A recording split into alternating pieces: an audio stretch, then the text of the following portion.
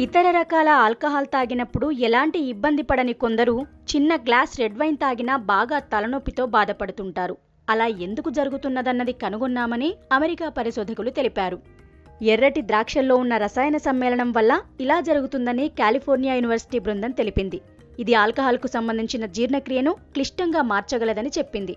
ఈ రసాయన మిశ్రమాన్ని క్వర్సిటిన్ అని పిలుస్తారు.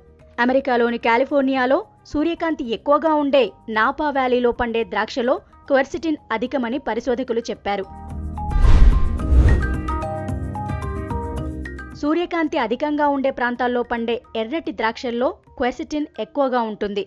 దీనివల్ల చౌకైన ఆల్కహాల్తో పోలిస్తే ఖరీదైన రెడ్ వైన్ వల్లనే ప్రజలు ఎక్కువగా తలనొప్పికి గురవుతున్నారని పరిశోధకుల్లో ఒకరైన ప్రొఫెసర్ ఆండ్రూ వాటర్హౌస్ బీబీసీతో చెప్పారు. చౌకగా లభించే ద్రాక్షలు గుబురు గుబురుగా అల్లుకునే తీగలలో పండుతున్నాయి. వీటికి ఎక్కువగా ఆకులుంటాయి. దీంతో వీటిపై సూర్యకాంతి అంతగా పడదని వివరించారు. ఆకులు తక్కువగా ఉండే రకం ద్రాక్షతో చేసే రెడ్ వైన్ వల్ల తలనొప్పి వస్తుందని చెప్పారు. వైన్ నాణ్యతను పెంచేందుకు సూర్యకాంతి విషయంలో చాలా జాగ్రత్తగా ఉండాలని పరిశోధకులు చెప్పారు. మరోవైపు చౌకగా లభించే వైన్లే తలనొప్పికి ఎక్కువగా కారణమవుతున్నాయని లండన్లోని క్వీన్ మారీ యూనివర్సిటీ ప్రొఫెసర్ రోగల్ కార్డర్ చెప్పారు. కానీ వీటిని ఆధారాలతో రుజువు చేయలేకపోయారు. రెడ్ వైన్ తక్కువగా తాగినా కొంతమందికి అరగంటలోనే తలనొప్పి ఎందుకు వస్తుందనేది వివరించేందుకు ఇప్పటివరకు చాలా ప్రయోగాలు జరిగాయి. రెడ్ వైన్లో ఉండే కొన్ని సల్ఫేట్ల వల్ల ఇలా జరుగుతుండొచ్చని పరిశోధకులు అంచనా వేశారు. వైన్ తాజాగా ఎక్కువ కాలం పాటు ఉంచేందుకు సల్ఫేట్లను వాడతారు. సాధారణంగా రెడ్ వైన్లతో పోలిస్తే తీయగా ఉండే వైట్ వైన్లలోనే సల్ఫేట్ కంటెంట్ ఎక్కువగా ఉంటుంది. కొందరికి సల్ఫేట్ పడదు అలర్జిటిక్ రియాక్షన్లు వస్తాయి.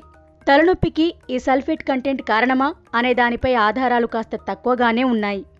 వైట్ రోజ్ వైన్లు కాకుండా రెడ్ వైన్లో అత్యంత సాధారణంగా వాడే పదార్థం హిస్టామైన్ కూడా తలనొప్పికి కారణంగా చెబుతుంటారు. హిస్టామైన్ శరీరంలోని రక్త కణాలలో కలిసినప్పుడు తలనొప్పికి కారణమవుతుంది. కానీ దీనివల్లే ఇలా జరుగుతుందా అనేదానికి కూడా సరైన ఆధారాలు లేవు. తూర్పు ఆసియా సంతతికి చెందిన ప్రతి ముగ్గురు వ్యక్తుల్లో ఒకరు పైగా బీర్ వైన్ స్పిరిట్స్ ఇలా ఏ ఆల్కహాల్ తాగినా తీవ్ర అస్వస్థతకు గురవుతున్నట్లు నిపుణులు గుర్తించారు. వారు ఆల్కహాల్ తాగినప్పుడు ముఖం ఎర్రబడటం తలనొప్పి రావడం వికారం కలుగుతున్నాయని నిపుణులు చెప్పారు. శరీరంలో ఆల్కహాల్ రెండు విధాలుగా విచ్ఛిన్నమవుతుంది. ఒకటి విషపూరితమైన సమ్మేళనం అంటే ఎసిటాల్డిహైడ్గా మారుతుంది. ఎసిటాల్డిహైడ్ ఆ తర్వాత ఎసిటిక్ ఆమ్లంగా ఆ తర్వాత కార్బన్ డయాక్సైడ్గా విడిపోతుంది. ఒకవేళ అలా జరుగుతున్నప్పుడు హానికరమైన ఎసిటాల్డిహైడ్ వృద్ధి చెంది తలనొప్పి లాంటి సమస్యలు వస్తాయి.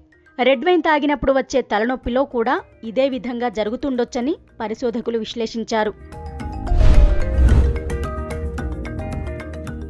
మద్యం ఎక్కువగా తాగడం తరచుగా తాగడం వల్ల స్వల్పకాలంలో దీర్ఘకాలంలో ఆరోగ్యంపై తీవ్ర ప్రభావం పడుతుంది.